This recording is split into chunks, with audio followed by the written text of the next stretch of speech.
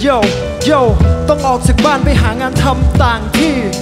ตอนพี่ไม่อยู่ฝากดูแลแม่แทนพี่ คิดถึงแม่และคิดถึงมึงเหนื่อยแทบแย่แต่ก็ทำเพื่อเงิน หาค่าบ้านแล้วก็หาค่าไฟค่านู่นค่านี่ค่าอะไรก็ว่าไป นั่งกินมาม่าประจำแม่ถามทุกวันกินข้าวหรือยังลูกบอกแม่ว่าอยู่สบายได้กินบุฟเฟ่เอ็มเคทุกวันหยุดโกหกทุกวันทุกครั้งที่คุยหาคุยแต่เรื่องที่สนุกทำงานสบายโกหกหน้าตายทั้งที่หลังกูแทบจะหลุด และทำทุกอย่างเพื่อปากกับท้อง ไม่เคยจะลืมว่าทำทุกอย่างเพื่อแม่กับน้อง แม่โทรมาร้องไห้บอกว่าต้องเสียน้ำตามือถือที่เพิ่งส่งมาน้องเอาไปแลกกับยา ไม่เป็นไรครับแม่ใจเย็นๆไม่เป็นไรครับแม่เดี๋ยวเราพาน้องไปบำบัดไปรุ่นติดยาพวกเขาถนัดคงยังไม่สายไม่นานก็คงจะหายดี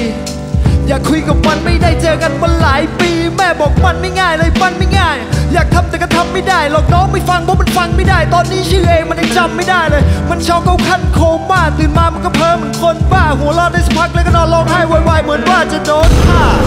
แล้วหมอบอกมาว่าหมดปัญญาหมอบอกมาว่าหมดเวลาหมอบอกน้องไม่มีทางกลับมาอยากหลับตาขอภาวนาให้ย้อนเวลาเป็นเด็กสักเจ็ดขวบอย่างน้อยก็ไม่มีเรื่องแบบนี้มันทำให้เจ็บปวดไม่เคย